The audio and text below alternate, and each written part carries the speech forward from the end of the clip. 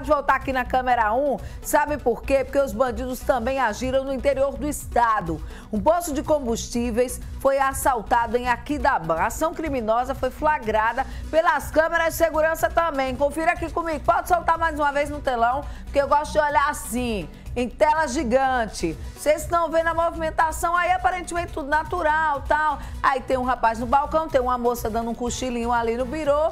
E aí ele chega com a mochila nas costas e já começa a dar ordem. Vai jogar a mochila, olha só, jogou a mochila e disse: pode botar o dinheiro aí dentro. A moça despertou logo, ficou desesperada. Ele manda ela sentar mais uma vez e aí começa a fazer as ameaças. Ele quer dinheiro, o outro está aguardando lá fora na moto. Ele com o capacete não tira para nada e a ousadia impera na capital e no interior do estado. Ninguém quer acordar cedo para trabalhar, mas infernizar vida dos outros, tem muita gente para fazer esse papel e principalmente ameaçar. Então, apesar do capacete, se você reconhece essa pessoa, entre em contato com a polícia urgentemente através do Disque Denúncia 181, porque o relógio marca aí, olha, da gravação 13 e 56. Eu não estou falando de noite não, viu? Isso aí foi em pleno horário de movimento pelo dia. Vocês estão vendo mais uma vez que é para reforçar e para frisar.